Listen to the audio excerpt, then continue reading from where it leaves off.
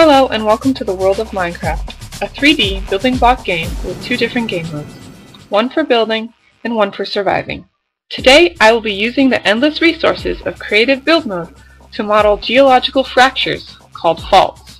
Before this video can progress, we must learn exactly what a fault is.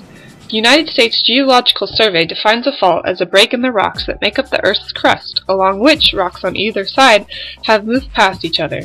Now bear in mind that not every crack in the ground is a fault, because what defines a fault is the type of movement that has occurred. Three different types of faults will be modeled throughout this video.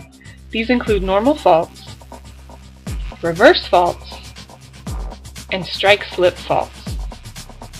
Varying movements of these brittle deformations will be represented and clearly shown through this six-layer slab of earth that I have created. These layers will help show which direction the fault has moved the earth. On the right side of the red line that I have drawn to the slab of earth is the footwall. It is called the footwall because, as you can see, the feet of this character are on it. The other wall, to the left of the red line, is called the hanging wall.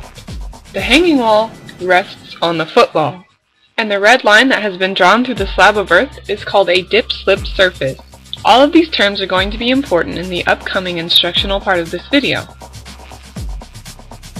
First, let's begin with a normal fault. A normal fault is a result of tensional stress. Now with a normal fault, the hanging wall will move downward relative to the footwall. Now watch as this slab of earth transforms due to tensional stress. Here's the result of tensional stress along the dip-slip surface. As you can see, a normal fault is produced because the hanging wall has moved downwards relative to the footwall you can see that the layers of Earth have shifted downwards instead of up. we will be looking at is called a reverse fault. As the name implies, it is the exact opposite of a normal fault. A reverse fault is the result of compressional stress, causing the hanging wall to move upward relative to the footwall. And here's the result of compressional stress on a dip-slip surface. As you can see, the hanging wall has moved upward relative to the footwall. This type of fault is called a strike-slip fault and is the result of shear stress. There are two different types of strike-slip faults. One can be classified as left lateral and the other right lateral. The difference between these two is just the direction that the earth has moved. And here's an example of a right lateral strike-slip fault. As you can see, the fence has moved to the right, which means that the whole slab of earth has moved to the right. As a result of a left lateral strike-slip fault.